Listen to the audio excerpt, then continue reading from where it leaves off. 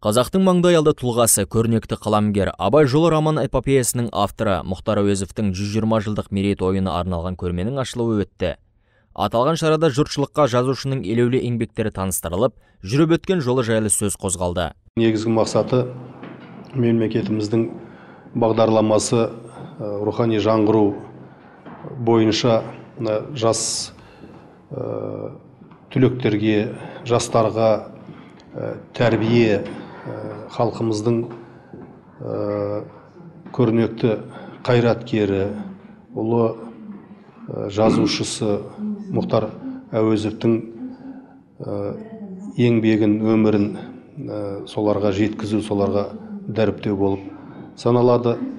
Рухани жаңғыру аясында өткен бұл шараның басты мақсаты жоғарғы оқу орындарының студенттеріне қазақстанның белгілі жазушыларын таныстыру және жастардың мәдени ақпараттық санасын дамытуға бағытталады. Өскелең ұрпақты оқуға ілім ғылымға тартуды басты негізге алады. Жиында жазушының ұлы мұрат әуезов осы кездесудің өтуіне мұрындық болған академия басшылығы мен ұстаздарына алғыс айта отырып өзінің ыстық ықыласын білдірді. Ол біздер үшін үлкен міндет әкеміздің рухани мұрасын сақтап қалу және де соны насихаттау ал енді мына мынағы мұхтар әуезов атындағы әдебиет институты үлкен жұмыстар іздеп жатыр. Олар жақында мұхтар әуезовтің елу томдығын дайындап шығарды бұл үлкен еңбек. Мұндай алқалы жиындар бабалар тарихын есте сақтауға оң әсерін тигізбек. Өз кезегінде гений казахский земли тақырыбында абай мұражайы ұйымдастырған көшпелі көрме көпшілік назарына ұсынылды.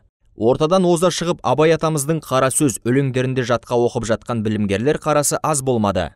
Осындай әдеби тұлғаларымыздың тарихта үлкен орын алатын тұлғаларымызды аттарын жаңартып рухани жаңғыру ол және де келешек ұрпаққа қалдыру әрбір жаңағы жастың міндеті. Кемел ойлы кемеңгер ғалым кең тынысты классик жазушы мұхтар әуезов халқының алдында тағы да танылып жатты. Ұрпағына үлгі болған тұлғалар ел жадында жаңғырап мәңгі есте қала бермек.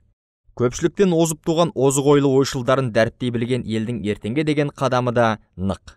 Медет жұмабаев жайна шияудан әділет рахметолла асыл арна.